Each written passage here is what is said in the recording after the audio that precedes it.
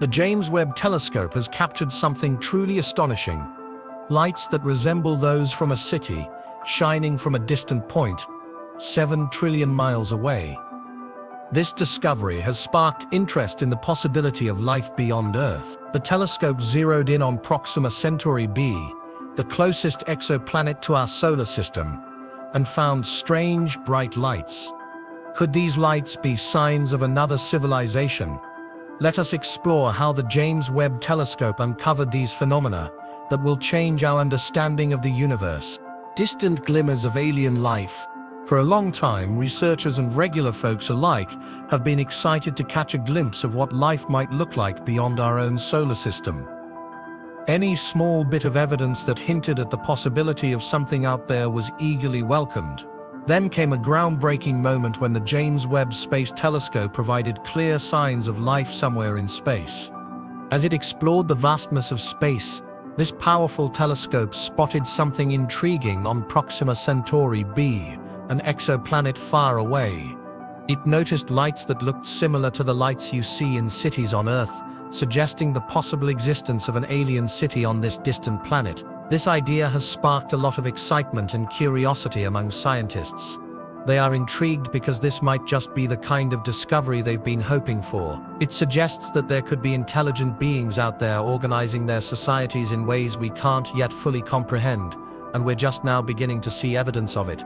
Looking at these distant city-like lights, which are a staggering 7 trillion miles away, NASA engineers are amazed and wonder how long these lights have been visible in space, just waiting for us to finally have the technology to see them. David Kipping, an astronomer at Columbia University, described the planet where these lights were found as quite complex. This is because, unlike most rocky planets that absorb sunlight and release infrared energy, this exoplanet behaves differently due to its unique relationship with its host star Proxima Centauri. This finding by the James Webb Space Telescope highlights its importance.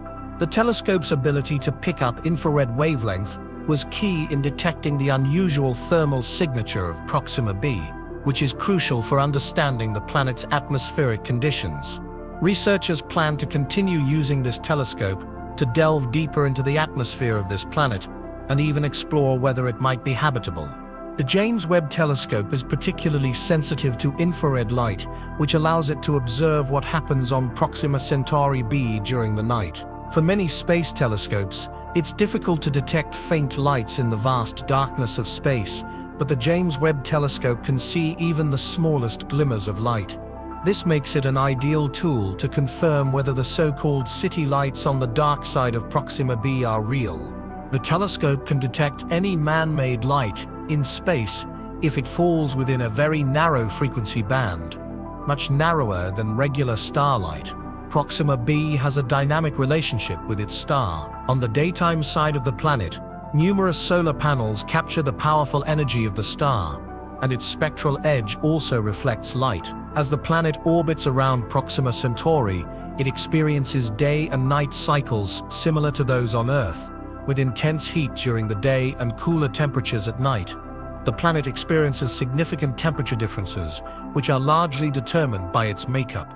For instance, if Proxima b lacks an atmosphere, the temperature difference between day and night would be extreme. Without the moderating effects of atmospheric gases or oceans, the day side would get extremely hot, while the night side would fall into freezing temperatures, this dramatic temperature variation is a key area of interest for astronomers, as it offers insights into the atmospheric composition of Proxima. The James Webb Space Telescope, with its unmatched infrared imaging capabilities, can effectively analyze the planet's thermal emissions, providing valuable data on its atmospheric properties. Interestingly, the orbit of the James Webb Telescope around Earth matches the orbital period of Proxima b, allowing for comprehensive observations of its day and night every 11.2. If the planet indeed has an atmosphere, the next step will be to examine its atmospheric chemistry to determine if it can support life. Signs such as the presence of oxygen, water vapor, and methane would indicate habitable conditions. If these elements are present on the planet, it would confirm its potential to support life. This requires precise capture and analysis of light passing through the planet's atmosphere, a challenging task. Although the James Webb Telescope has excellent capabilities for characterizing planetary atmospheres, it is primarily designed for other tasks. It specializes in analyzing variations in the concentrations of water vapor, carbon dioxide, and methane. While it has some limitations in detecting bonded oxygen, a crucial indicator of life, the telescope is also equipped to search for other important elements like ozone, which is a good indicator of a healthy atmosphere. As scientists consider the James Webb Space Telescope's findings, the search to explore faraway worlds grows, bringing us closer to knowing if we're alone. Exploring new worlds. Exploring new worlds with Webb it's important to remember that the James Webb Space Telescope can only observe a limited number of the closest habitable worlds to Earth. For more detailed atmospheric studies, astronomers are turning to ground-based observatories like the Extremely Large Telescope, ELT, which is set to begin operations in... The ELT is designed to provide deeper insights into the atmospheric structures of distant exoplanets, offering detailed and clear data on their potential to support life. Scientists are eagerly waiting for the operation of future space telescopes like the ELT.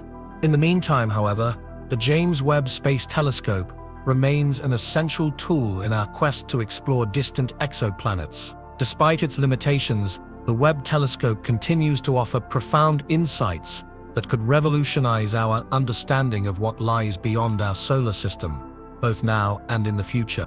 Researchers have big plans for the space telescopes of tomorrow. They want to tone down the bright glare of stars so we can get a better look at the planets orbiting them. Think of it like using your hand to block the sun on a bright day so you can see better. By reducing the starlight, these future telescopes will have a clearer view to study the faint light bouncing off distant planets. This will help them analyze the planet's atmosphere and check if it could support life. But this task isn't straightforward. Scientists will need to tell the difference between gases produced by living things and those from natural planetary activities, like volcanoes. They're really committed to getting to know these far-off planets better, so they can spot real signs of life and not get fooled by natural processes that look similar. The Webb telescope is giving us a sneak peek at what these future studies might uncover.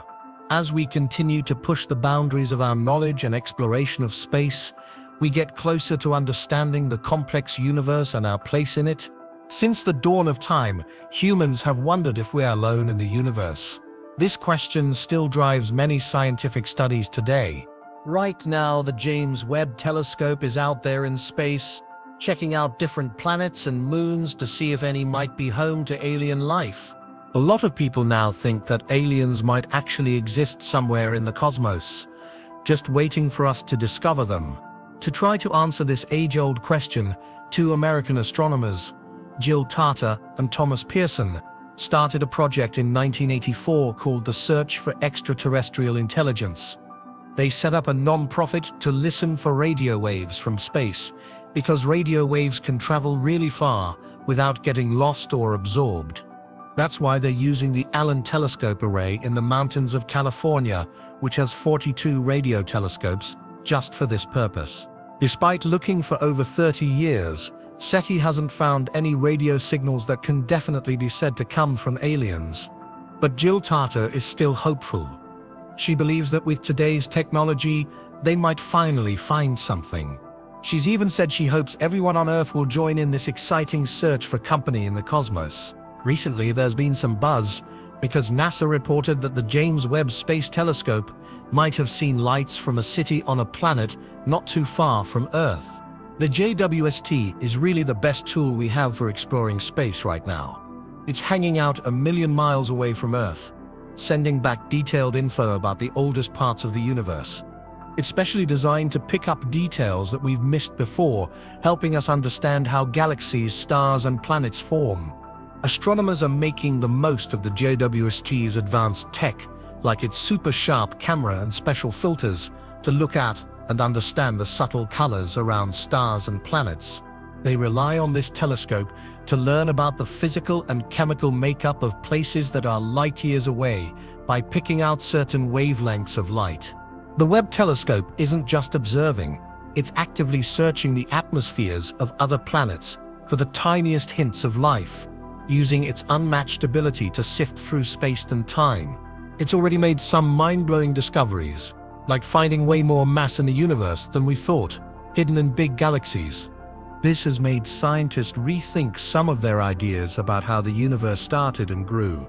With each new discovery from the JWST, our drive to understand distant planets deepens, expanding what we know about life beyond Earth. New clues in the quest for aliens. Humanity is now using the JWST to go deeper into space than we've ever gone before. It's helping us gather information on remote worlds, providing new insights that could solve some big questions about these distant planets. 20 years ago, we barely knew anything about planets outside our solar system. But since then, astronomers have found over 4,000 exoplanets orbiting distant stars, showing just how far we can stretch our curiosity and technology. Yet, NASA thinks these discoveries are just the beginning. They believe there are actually trillions of exoplanets out there waiting to be found. Scientists haven't stopped their space explorations, hoping to find places where aliens might live. Every so often they get a hint that they might be on the right track. For instance, when the Galileo spacecraft went to Jupiter, it accidentally found a sign that might mean there's plant life out there. This was a huge deal, because it was the first time we found what's called a biosignature, which in this case was the vegetation red edge. The VRE looks for life in a unique way by checking how light bounces off it. With the help of the VRE, the James Webb Space Telescope is all set to uncover more about life in space, mapping out the orbits of planets that could be cozy enough for life, nestled in the just right zones around their stars. When these indicators pop up, the virtual reality engine VRE could really shake things up by pointing us toward intelligent life somewhere beyond Earth. This could kickstart an exciting phase of space exploration that digs into the unknown reaches of the cosmos. Picture this. Sunlight streams through various atmospheric layers, breaking into rays of different wavelengths, which atoms and molecules in those layers snatch up. As this process keeps going, it creates a unique spectral signature. Think of it as a special kind of fingerprint that we can read using a method called spectroscopy.